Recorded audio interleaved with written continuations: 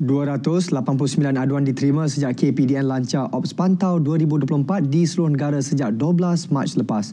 179 daripadanya aduan berkaitan tanda harga. Angka itu menunjukkan pengguna kini semakin peka dengan isu tersebut.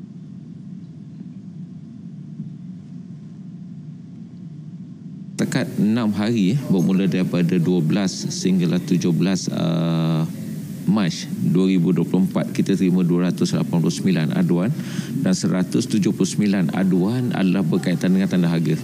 Tanda harga dan juga harga yang tidak munasabah. Jadi ini menunjukkan bahawa uh, pengguna-pengguna kita sekarang ni sangat peka tentang uh, pergerakan harga dan juga peletakan harga oleh peniaga-peniaga Ops Pantau 2024 memberi fokus isu bekalan, harga, halal, alat penimbang dan juga penjualan barangan tiruan. Beliau ditemui selepas menjadi panel dalam program Selamat Pagi Malaysia di Angkasa Puri Kota Media.